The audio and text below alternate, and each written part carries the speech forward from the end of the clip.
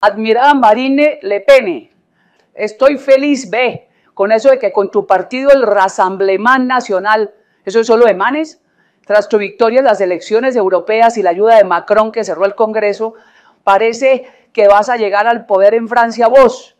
Necesito tu consejo porque yo en el 2026 con mi fuerza letal corono porque corono. ¿Coronas? Ah, eres monarquista.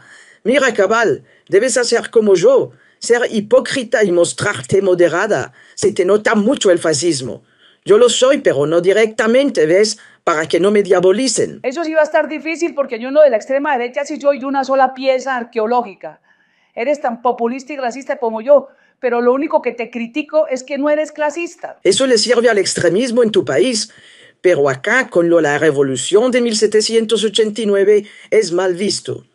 En cambio, en lo de estigmatizar y perseguir a los negros, los árabes y todo tipo de inmigrantes, yo sí estoy en primera línea. Esas dos palabras acá las tenemos vetadas, porque acá también hay negros y venezolanos, pero siquiera ustedes allá no tienen lo peor, los indios. Algunos de los de ustedes de los países de Sudamérica que vienen a quitarnos la baguette. Pero cuando de nuestro colonialismo, cuando se independizaron, esto se nos llenó de morros y de blacks. Oye, lo de ustedes, ve, contra la Unión Europea es muy chévere, ¿oís? Quiero copiarme esa vaina y acabar con lo vea. Disque hermanos, toda esa gente con la sangre descolorida. Somos nacionalistas por lo de Napoleón. Para mí la única manera de relacionarme con ingleses y alemanes es invadiéndoles. Andamos en esas con lo de Maduro. Vas a prohibir el cochino lema de ustedes de libertad, igualdad y fraternidad. Te lo dije, modérate, no seas tan boleta.